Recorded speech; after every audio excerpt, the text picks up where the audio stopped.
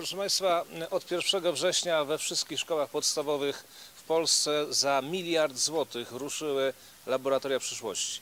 11 800 szkół wyposażone jest w, nowoczesny sprzęt, drukarki 3D, studia nagrań, nowoczesne lutownice, roboty, e, Google VR. No, można powiedzieć rzeczy, których myśmy nawet się nie spodziewali, że mogą być w szkole. Miliard złotych na to przeznaczyliśmy e, e, i zawsze w tym, na tej fazie czy, w tej fazie projektowania laboratoriów przyszłości, planowania zakupów, a później już przyjazdu do tych sprzętu, który został zamówiony, padały gdzieś głosy, że no ale jak to wykorzystać, nie wszyscy będą potrafili to wykorzystać. Chcę Państwa zapewnić, że ci, którzy planowali zakup sprzętu w poszczególnych szkołach podstawowych potrafią z tego korzystać. Ale żeby wspomóc nauczycieli, dyrektorów szkół, wszystkich tych, którzy będą obsługiwać laboratoria przyszłości, bo to nie jest kwestia tylko techniki, to nie jest kwestia tylko informatyki, to jest również kwestia chemii, fizyki, geografii, historii, bo tego wszystkiego można uczyć dzięki tym pomocom dydaktycznym, e, które są w, w ramach laboratorium przyszłości. Żeby wspomóc,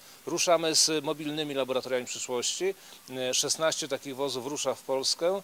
E, Chcę dotrzeć do wszystkich powiatów w Polsce. Zachęcamy szkoły do tego, żeby e, zamawiały te e, mobilne laboratoria przyszłości wraz z kadrą, która będzie wyjaśniała, jak najbardziej efektywnie można skorzystać z tych laboratoriów. E, Najbardziej efektywnie to tak, żeby uczniowie skorzystali z tego maksymalnie, jak to jest tylko możliwe. Taka idea przyświeca mobilnym laboratorium przyszłości. O szczegółach tego będzie mówiła za chwilkę pani minister Justyna Orłowska, która wraz ze swoim zespołem GovTech jest twórcą idei laboratorium przyszłości, również tej idei mobilnych laboratoriów przyszłości. Tutaj w to angażuje się również Instytut Badań Edukacyjnych, za co bardzo serdecznie e, dziękujemy, bo to w ramach IBE, Instytutu Badań Edukacyjnych, te laboratoria mobilne ruszają, ruszają w Polsce. Zatem e, miliard złotych, 11 800 szkół, w tym ta szkoła podstawowa numer 58 w Lublinie. E, Gratuluję panu dyrektorowi, ale gratuluję przede wszystkim panu prezydentowi, e, pani dyrektor Wydziału Oświaty, tej znakomitej inwestycji. Tu w tej nowoczesności e, rozpoczęliśmy również pracę tych mobilnych laboratoriów przyszłości. Byliśmy na zajęciach z uczniami. Powiem szczerze, że zostałbym dłużej na takich zajęciach, tylko że no, trzeba poświęcić się również innym obowiązkom, jak na przykład branżowym Centrum Umiejętności, o których mówiliśmy w Puławach. Gratuluję panu dyrektorowi. Panie dyrektorze, proszę o przyjęcie okolicznościowego dyplomu za zorganizowanie tego pierwszego, tych pierwszych lekcji mobilnych laboratoriów przyszłości i proszę o przyjęcie jeszcze lauru niepodległości.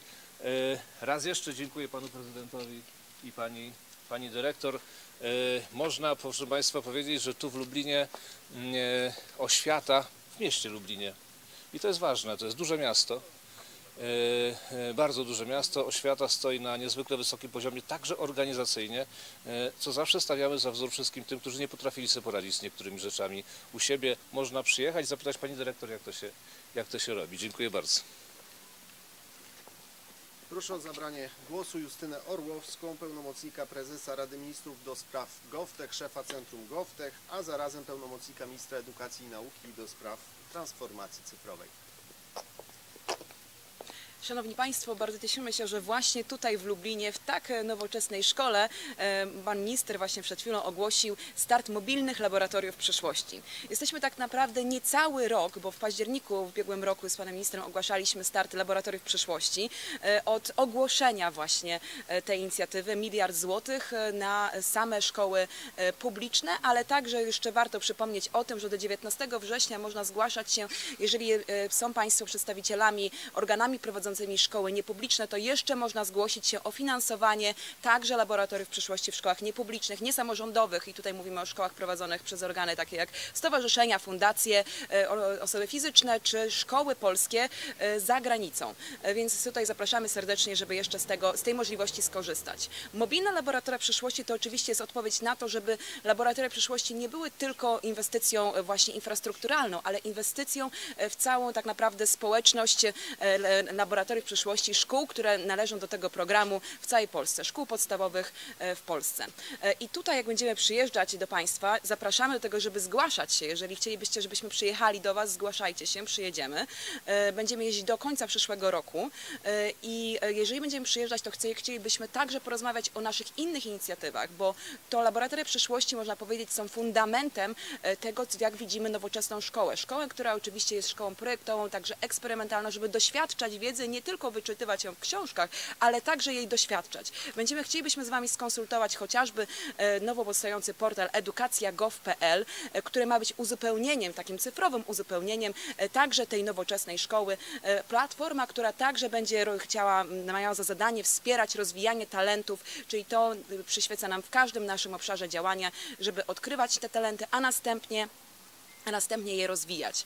E, Szanowni Państwo, e, zapraszamy serdecznie. E, Będziemy, będziemy widzieć się to dzisiaj tutaj pierwszy raz, ale tak naprawdę 16 e, mobilnych busów w każdym województwie, każdego dnia, czyli tak naprawdę 16 odwiedzin szkół każdego dnia. Ale prosimy, żebyście właśnie nas zapraszali, żebyśmy mogli się dowiedzieć jeszcze więcej o tym wszystkim. Nasi edukatorzy są gotowi do tego, aby także razem z Państwem, razem z nauczycielami na pomysły tak naprawdę także uczniów powstawały scenariusze zajęć, które będzie można wykorzystywać e, nie tylko na zawodach, nie tylko na przedmiotach technicznych, ale właśnie tak jak powiedział Pan Minister, także e, język polski, historia. Tutaj ogranicza nas tylko wyobraźnia.